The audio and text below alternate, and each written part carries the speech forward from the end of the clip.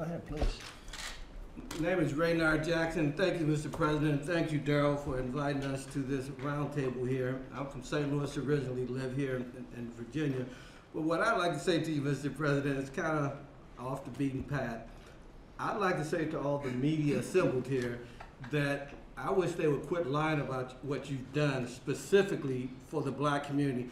So you got radical liberal journalists like Joy Reid from MSNBC, Don Lemon from CNN, Roland Martin, who are putting more poison into the black community than any drug dealer, who are killing more black folks than any white person with a sheet over their face. How are they doing it? Spreading these lies about the economy you had, Mr. President, before the virus was a continuation of Obama. That's just factually not true. I have a degree in accounting. I keep up with the economy. They're lying. So to all these folks on MSNBC, CNN, Roland Martin, are you afraid to have real black Republicans who know what the hell they're talking about?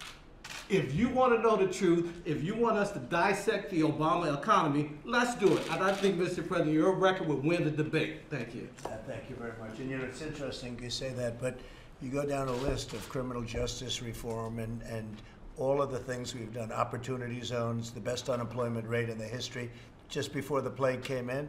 Uh, and it's going to be back again soon. I think it's going to be back again a lot sooner than people think. I think last week was a reflection of that, the uh, jobs numbers.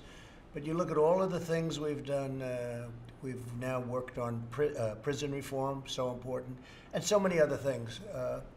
Uh, but when you look at the economics, when you look at how well the black community has been doing under this administration, nobody's done anything like we've done.